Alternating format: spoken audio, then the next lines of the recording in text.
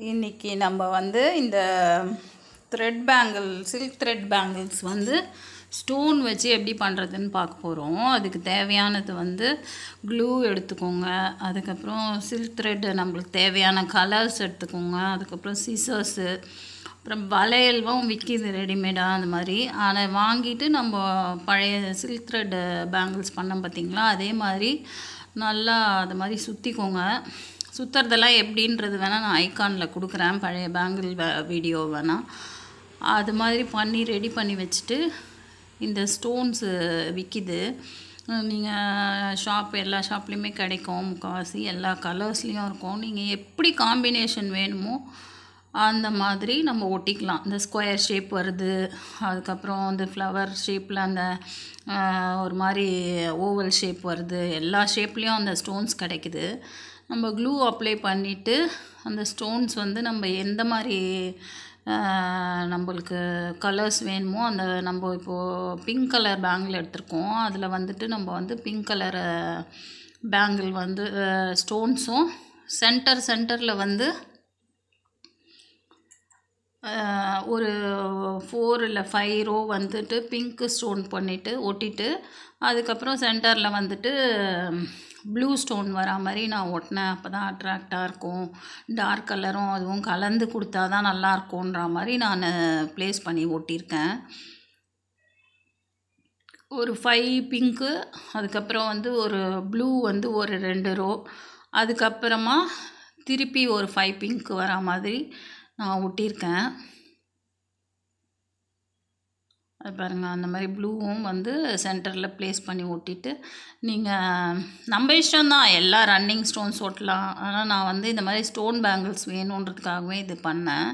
இது நல்லாயிருக்கு stone bangles நம்ம எல்லா கலர் சாரீக்கும் நம்ம இது போட்டோம்னா அந்த ச வளையல் வந்து மேட்சிங்காக நல்லாயிருக்கு இது பாருங்கள் ப்ளூ ஒட்டிட்டு திருப்பி பிங்க் வந்து ஒரு ஃபைவ் ரோ ஒட்டிட்டு அதுக்கப்புறமா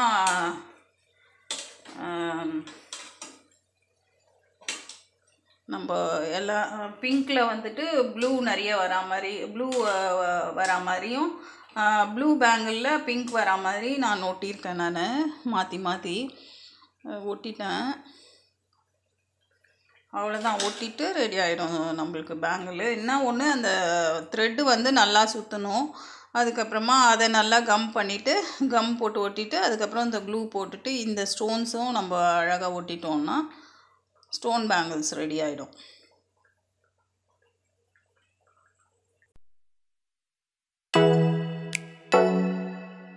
Oh.